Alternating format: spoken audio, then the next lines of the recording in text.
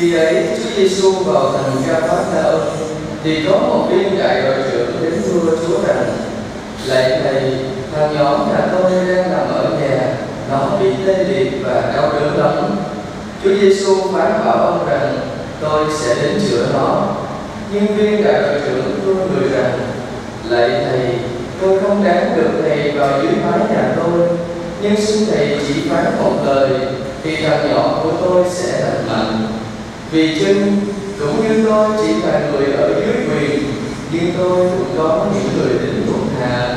Tôi bảo người này đi thì anh đi tôi bảo người kia đến thì anh đến.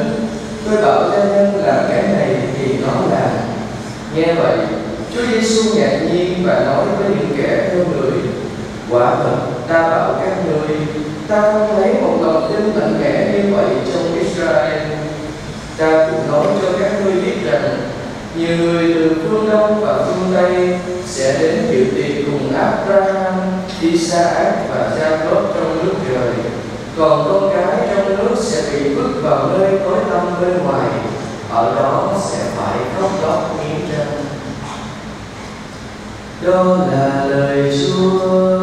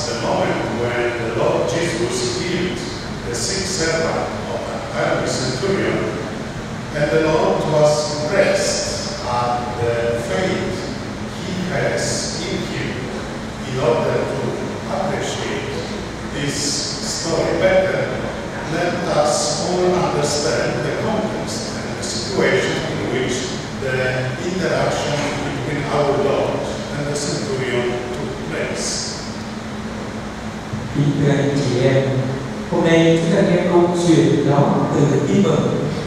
Khoảnh khắc kết nối chúng ta với khi Chúa Giêsu chữa về tờ tên bài của cái đại đội trưởng và Chúa rất ấn tượng về đức tin của ông đã là trọn nơi nào để hiểu rõ giá trị câu chuyện này hơn.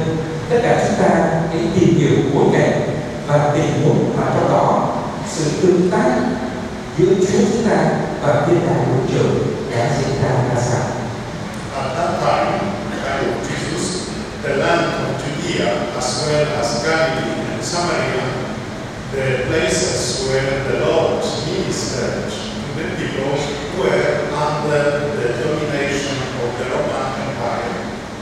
vào thời điểm đó vùng đất Juda cũng như Galilea và Samaria là những nơi Chúa thi hành cử các cuộc cứu độ con người đều nằm dưới sự thống trị của đế quốc Roma. It was likely that this army or centurion is part of the Roman legion or army stationed in the region for peacekeeping and garrison purposes. As such, the army centurion mentioned in the Gospel of today might not even be a Jew. He could be Roman citizens. Có thể hiện đại đội trưởng thì liên quan các chuông này là thành phần của quân đoàn Roma hoặc là quân đội đóng trong tù vì mục đích gìn giữ hòa bình và bố trí lực lượng. Như vậy, viên đại đội trưởng được nhắc đến trong tin mừng hôm nay có thể không phải là người Do Thái mà là người Roma. The Jewish people living in Judea, as you can imagine, were not happy living under the Roman rules, as they had to pay taxes and obey all their obligations, although the Romans did respect the Jewish customs and faith, allowing them to carry on with their lives as normal. Người Do Thái sống tại Judea cũng chẳng hạnh phúc gì khi sống dưới cai trị của người Roma họ phải đóng thuế và tuân thủ các nghĩa vụ khác mặc dù người Roma tôn trọng phong tục và đức tin của người Do Thái cho phép họ tiếp tục cuộc sống như There is another thing that we should know. The Jews try to avoid, they despise all interactions with Romans as well as with pagans, Greeks, and those who do not believe in God or obey the laws of Moses. A Jewish person should not enter the house of a pagan, or else he or she will be considered unclean and unworthy. người Do Thái xem thường mọi giao thiệp với người Roma cũng như với những người ngoại người Hy Lạp và tất cả những người không tin vào Thiên Chúa hoặc không chứa ở Môi-se. Một người Do Thái không nên vào một nhà người ngoại, nếu không người ấy sẽ bị gọi là. This was a very strong uh, mentality, religious behavior that still exists today in the world. Not entering in contact with other religions, not eating together, not playing together, just separation, isolation, complete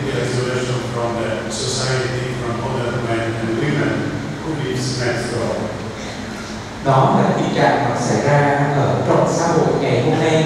Tạo ra sự cách biệt giữa tôn giáo này với tôn giáo kia thậm chí nhà kế bên nhau khác tôn giáo nào cũng coi như là sống cách biệt. So imagine this situation, and if Jesus entered into the house of the Iron centurion, he would be considered unclean, and his enemies would have a reason with which to attack him for conspiring with the pagans. Như vậy, nếu Chúa Giêsu vào nhà như đại đội trưởng, Ngài sẽ coi là ô uế và kẻ thù của Chúa cho phải công kích Ngài thì cấu kết với ngoại bang. But the centurion was a smart guy also. He must have been aware, he knew of this fact, and that was probably the reason why he entered, he uttered the now famous words to Jesus Lord. I am not worthy that you should enter under my roof. Just say the word, and my servant shall be healed. Viên đại đội trưởng hẳn là nhận thức rất rõ cái thực tế này và có thể nói là do tại sao lại thốt lên lời lời nổi tiếng đúng lúc với Chúa Giêsu. Thưa ngài, tôi chẳng ngài vào nhà tôi, nhưng xin ngài chỉ một lời là của tôi thì được khỏi bệnh. So he didn't divine, he didn't insist that Jesus goes in uh, his house to avoid the problem for Jesus. He told him, I am not happy, I am not worthy, I am sinner. Please don't enter my house. In this way, very diplomatic way, he asked Jesus favor and avoid the embarrassing situation for Jesus. Ông đại đội trưởng, ông ấy biết rất rõ điều này vì trong luật của người Do Thái. Chính vì thế ông nói một cách rất lịch sự là tôi không đáng đón ngài vào nhà tôi và ông đã nói là xin thầy chỉ phạt một lời để đỡ tôi sẽ được nhận này. I am not worthy that you should enter under my roof. This is what each and every one of us repeats at every celebration of the Holy Mass at the Agnus Day, when the Lord is His most precious body and blood is presented to us sinners. Lạy Chúa, con chẳng đáng Chúa được vào nhà con, nhưng xin Chúa phán một lời thì linh hồn con sẽ lành hạnh. Đó là lời của người và mọi người trong chúng ta thốt lên mỗi khi cử hành thánh lễ sau khi xin Thiên Chúa. vì chính Chúa Giêsu là được ban tặng cho chúng ta những kẻ tội lỗi Knowing that we are sinners, we utter the same words as the centurion had mentioned. The other centurion knew that Jesus is the Lord, and recognizing that fact and truth, and how he, as a pagan, did not deserve Jesus, a Jew, and all the Lord as the Lord and Master of all, from coming into his house. nhận ra chúng ta là những tội nhân. Chúng ta hãy thốt lên những lời như như đại bộ trưởng. Không biết Chúa Giêsu là Đức Chúa và nhận ra thực tế của sự thật đó. Và làm thế nào chúng ta một người ngoài không xứng đáng với Chúa Giêsu một người Do Thái và hơn thế nữa với tư cách là Đức Chúa chủ thể phạt tận thế đạo Thus, he believes that because Jesus is the Lord and God, he needed only to just utter the words, and his will would be done, and the servant would be healed. vì thế ông tin rằng vì Chúa Giêsu là Đức Chúa và là Thiên Chúa chỉ cần ngài phán một lời và ý của ngài sẽ được thực hiện và người này đỡ được chữa lành this strong faith should be contrasted with the lack of faith among those whom the Lord Jesus had performed his miracles and wonders, even among his disciples and followers. niềm tin mạnh mẽ này hẳn là tương phản với sự thiếu lòng tin chính người theo Chúa Giêsu à, bởi vì họ đã được chứng kiến những phép lạ những việc lạ Chúa đã làm ngay cả các đệ và những kẻ ngài thế Then you remember the Bible, you know these facts. Many times Bible says that the Pharisees and teachers of the law even demanded Jesus to show them heavenly and miraculous signs that they might believe in him. These people had seen the signs performed, yet still did not believe, because they have consciously chosen not to believe in God and hardened their hearts against him. chúng ta thấy rất rõ trong tin mừng mặc dù những người văn siêu những người công luật những là do thái họ thấy điều Chúa Giêsu làm thế nhưng họ đòi Chúa Giêsu cho họ chống lại từ trời để mà họ tin vào ngài những con người ấy được thực hiện họ đã chủ động chọn và cứng lại Chúa So what is the message from this beautiful gospel? It's very simple. If we really believe, we don't need any sign. If we don't believe, if our heart, our hearts are closed, even if we see hundreds of signs, we will not believe will not believe that He is the Son of God who came to save us.